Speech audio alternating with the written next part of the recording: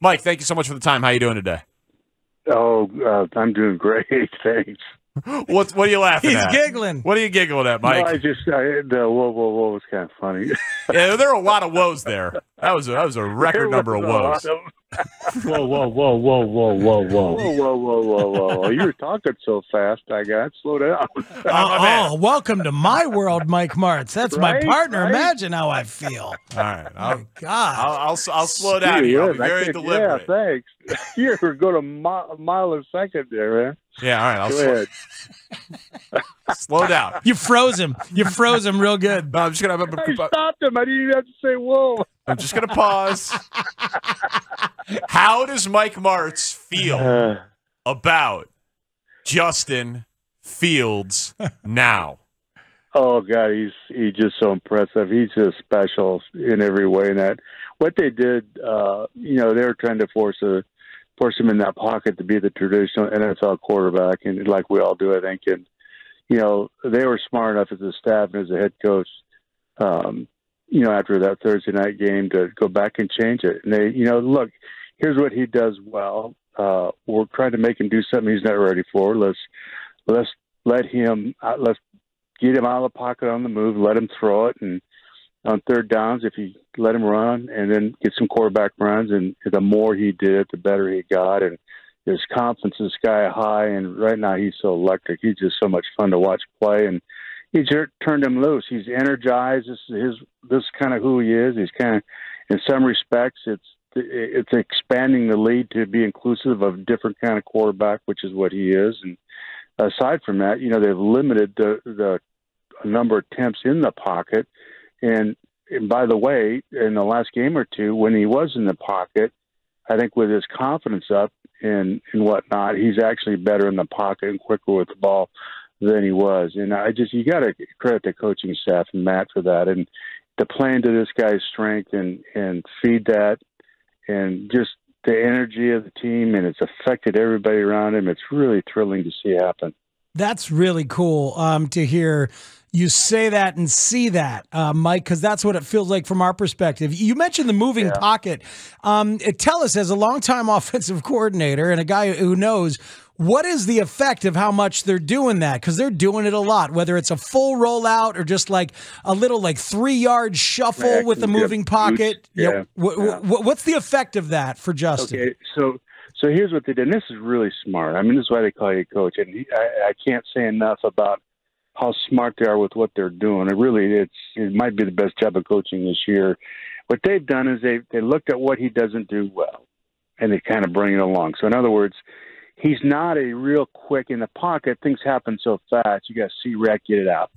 So, and he's just not ready for that. Now maybe he can, maybe he can. I don't know, but what they've done is they've let him buy time so that he can see things. And the longer he can hang on to that ball and be on the move, the more comfortable he is and the better throws he makes. And you know, they've kind of fed that animal in some respects, and it's it's really paid off. And you know, I think uh, I'm excited for him because in the last game or two, watching him in the pocket, he was remarkably better.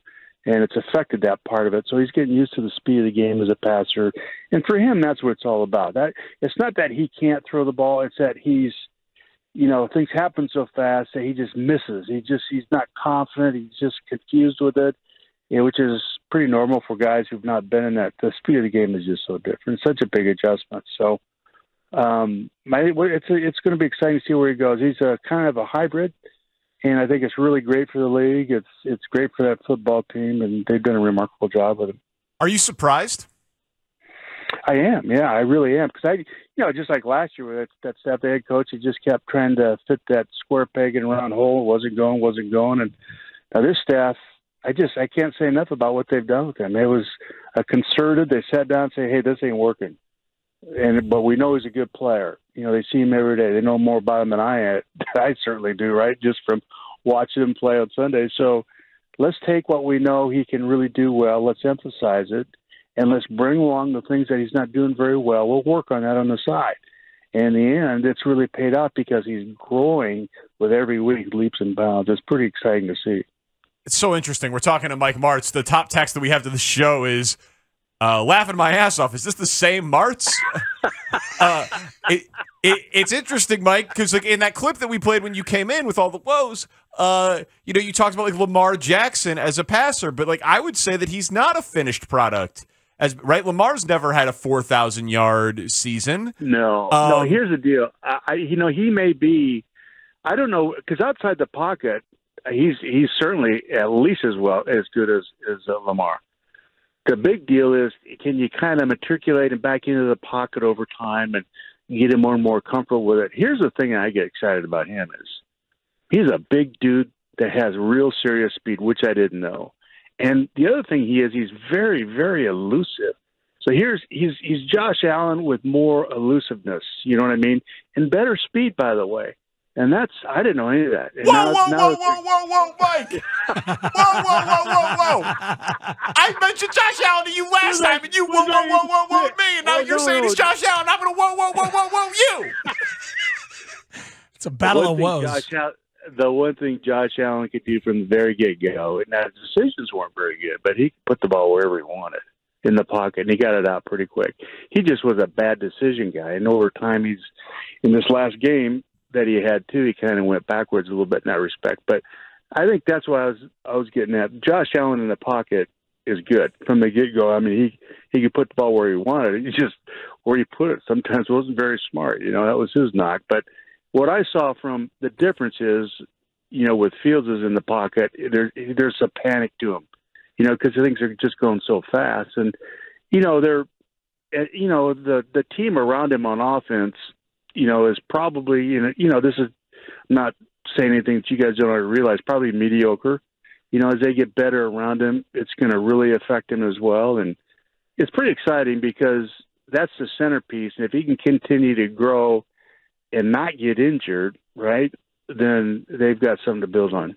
Well, see, this is the thing, Mike Martz. It's so interesting because Josh Allen is, um, by your assessment, and I think it makes sense, a passer who can also run and now is the full package Right. with some Yes, designed runs, right? But 50, 53% exactly. completion percentage his first year, 59% his his second year, Okay. for the record. Yeah. But but right. but a passer first, who then they they they they've incorporated some some uh, some of the runs. Justin, right now, we might look at as more of a runner, and now they'll have to get him better as a passer. It's possible to get to that that finished product that you want, who does everything from the runner's perspective, right? So so if you're starting where they're starting with with Justin, so so how do you get him better, quicker, more comfortable and aggressive in the pocket because he obviously will need that. There's going to be some times where he's just going to have to drop back and throw it 35 times and throw for 350. We haven't seen that yet.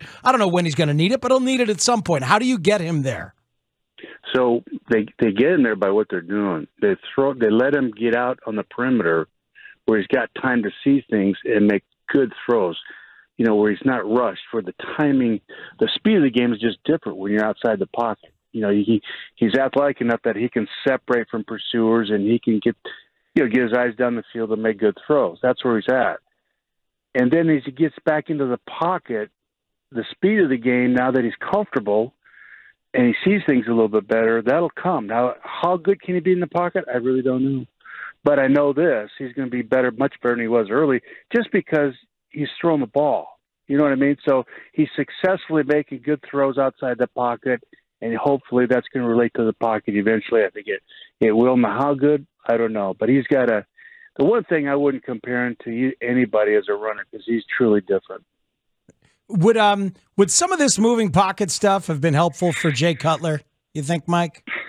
No, I think Jay is Jay's good in the pocket. He just is, was stubborn.